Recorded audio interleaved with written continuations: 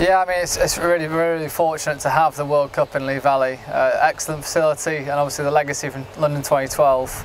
But to have a home crowd, there's nothing better, home advantage, and hopefully I can go better than I did at 2015 Worlds because uh, really disappointed not to give the crowd a medal or certainly a final performance, uh, something I believe I was capable of. I mean, uh, home advantage is a massive part of our sport, but to be able to sleep in your own bed at night and just come to your training facility and race there like it's a normal day uh, makes a massive difference and to have the British crowd behind you kind of adds the, is the cherry, cherry on the top of the cake. Lee Valley is such a good course because it's just uh, so different from anywhere else in the world. Uh, consistent like white water all the way down, uh, distinct features that make it kind of what Lee Valley is uh, and just the kind of whole venue around it set around being the best in the world. If you haven't seen Canoe Slalom before, there's not a better showcase of a place than Lee Valley.